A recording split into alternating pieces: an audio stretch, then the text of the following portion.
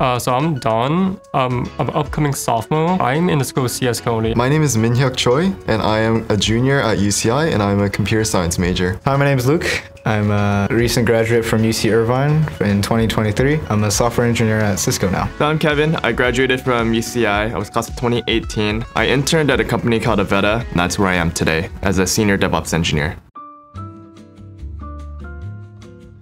I think for beginning CS classes, I think you should really look out for the 30 series. Those 31, 32, and 33, those are all Python-based classes, and usually you get a lot of fundamentals from that class. ICS 33 is where you really learn about how Python itself works.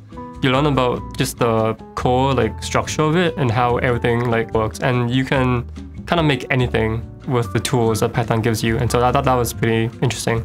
A lot of people often say that 33 is the hardest class freshman year, but what I found is I'm often helping people more in ICS 32. The hardest class for me was 32 because I fell behind on my work. What I find is a lot of people go into 32 after taking 31, and they think that 31 is really easy, and so they, they assume that 32 will be easy too. Uh, the professor gave us a lot of time to do each lab, but uh, I overestimated my competency on the labs and I ended up doing them last minute, which was a huge burden. And then they procrastinate a lot, and then suddenly they have these really hard assignments that they can't finish, and then I have to stay up multiple nights to help them with them. The closest to the deadline I finished uh, ICS 32 lab was, I think I finished it about two minutes before the deadline. It was around, um, I think 11.58 I finished the assignment and turned it in. I've helped at least a dozen people in 32. I think total, like, I've probably spent like maybe like 50 hours helping people with their assignments that weren't mine. I think for most incoming CS students, the classes that you would be looking for are pretty standard for lower div at least. You can stay in the general classes and then not have too much to put in your resume, but to start taking some of the more specialized project classes. A class that a lot of people often talk about is CompSci 122B. And that class is notorious because you build an entire website from scratch. That's a lot of work. And so uh, it teaches you a lot about front-end development, back-end development. People often experience a lot of a lot of struggle doing that because it's just a lot of work overall, but uh, they, they often come out of it learning a lot. ICS 119, I'm not sure exactly the code, but that's where outside companies can come in and they'll actually have programs or projects for the students to work on that'll help you stand out from the rest of the CS students. I think another class that I found really interesting was uh, CompSci 178. That class is about machine learning. Everyone is talking about AI nowadays, ChatGPT. 178 is where you get to see how that actually works internally. What you find is it's a lot of math and a lot of math.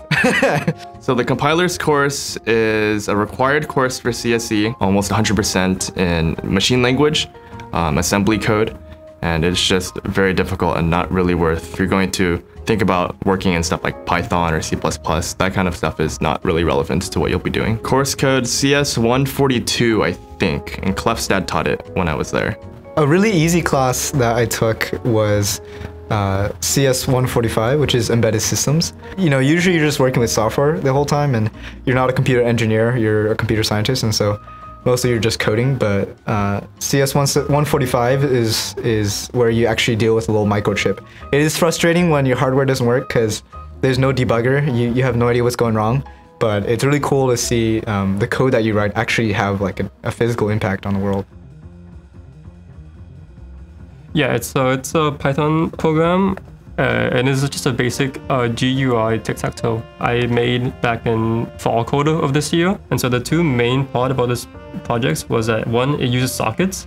So technically, I could I could do this on two different computers. You'll be able to see that uh, you can input an IP address and a port for both of them. So if I put local host and I put one, two, three, four, five for both of them, it should uh, put me in. I'll just put my name. So here's the first one and here's the second one. And so if I was a good programmer, this should work properly. Yeah, there you go.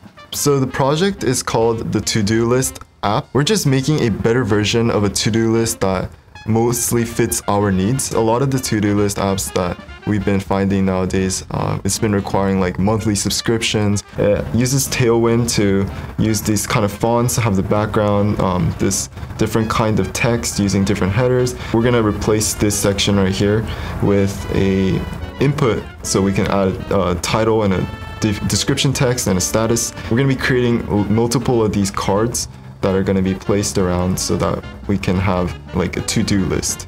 Uh, let me show you uh, an app I wrote called Zot Search. If you look here on the website, it's just a course search engine where you could look at different uh, courses at UCI.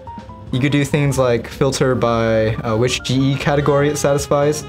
So let's say you want to find a class that satisfies GE category 3. To be honest, the website's pretty buggy still, and it's because I wrote in a week and it's a couple thousand lines. But one of the nice features is that you can actually sort by the average GPA of that course. So if you want to sort by the average GPA, you you just uh, change the filters like so, and then by the time you know when you look at the courses here, uh, you can see which courses have the highest uh, average GPA for uh, GE category 2. This app was sort of sitting in my brain for for months. A week before I graduated, I finally found a pocket of time. I decided um, I'm just gonna build this app, and I cranked it out in like a couple of nights. I wrote it in such a way that it updates itself every quarter. So all this is running for free, and now I don't have to worry about it ever again.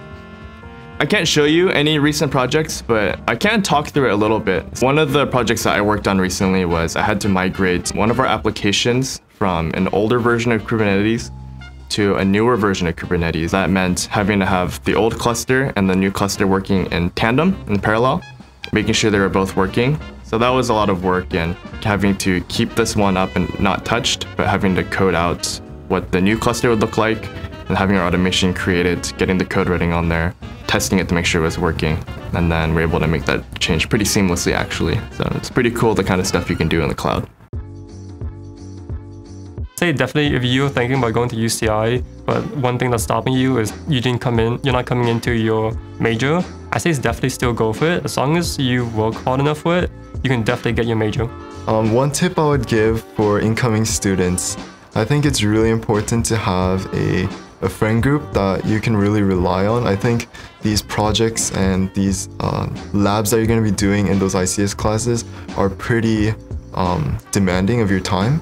And to do them with other people and just to think through your ideas with other people, I think is really helpful because um, I had to do that for a lot of my labs, and that's how we were able to get through those classes together. So I really recommend getting a group of friends that are also on the same track as you, just going the same path. That way you can really help each other understand the material better, but also uh, just understand the lab requirements better. I think the biggest piece of advice I would give an incoming CS major would just be don't be afraid to ask for help. I think CS majors are typically pretty prideful and they think they, they can do all their projects by themselves. I definitely I definitely did that.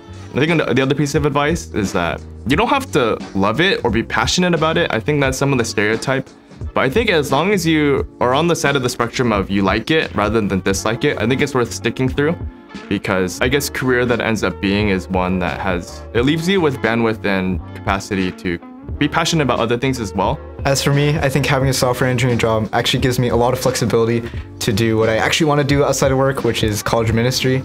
And that gives me opportunity to mentor college students and help them not only in their classes, but also grow spiritually and you know seek after truth and find a lot of a lot more joy doing that than actually doing it in my work. Yeah, it, it's pretty surprising because you know I I clearly love CS a lot, but I think that that that joy is is only goes so far.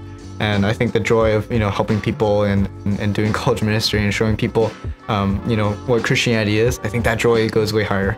You know, put in the hours and do the work, but you know it'll be okay you know, that's not all that there is about college. You know, I really encourage you to uh, really pour into the kind of friendships that you'll make here, the kind of interests, and and being able to figure out just who you are as a person. You know, what are you going to be about? You know, what is your identity? What are you going to believe in? You know, there are people out there that can help you with that. People who have done what you're going through right now, um, either recently or a longer time ago. Yeah, I think that's something I really want to encourage people to do. You know, take advantage of what college has, and that'll be the thing that you really are thankful for looking back. If you need help in computer science, I'm totally down to help you.